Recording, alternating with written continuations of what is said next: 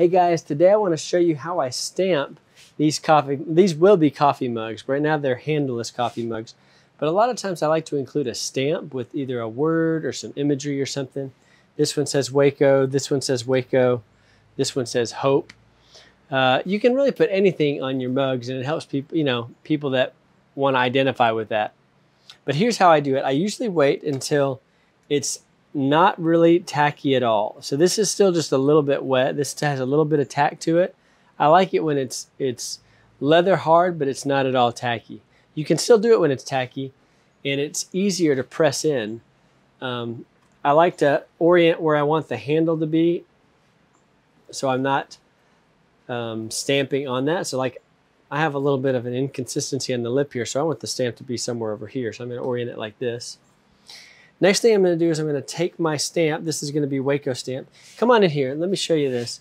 So this is the Waco stamp, and you can get all sorts of great detail with this stuff. You know, stamps are always printed backwards, but then you can get really good detail there. So first thing I'm going to do is I'm going to take some oil. This is just vegetable oil from the kitchen. And I just am dabbing it around there just to keep it. I just do this once. And I'll get here. Sorry if I cut you off here, New I'll get it kind of level and then I'll press it, I'll hold it in the middle. And now I just kind of walk it around. I'm going to walk it around to the left. I'm going to walk it around to the right.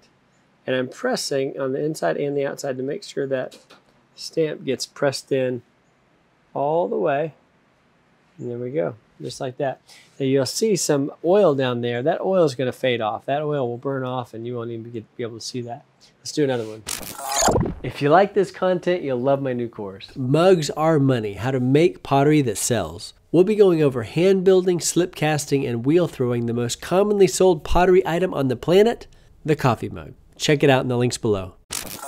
You got to make sure your fingers can reach all the way to the bottom of the stamp too. Let's do another one.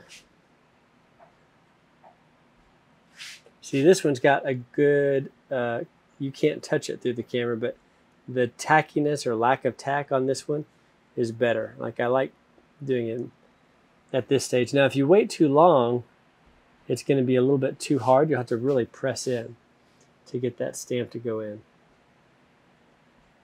And you can't do it too close to the bottom or else your fingers can't really reach in there. I guess the longer your fingers, the further down into the vessel you can reach.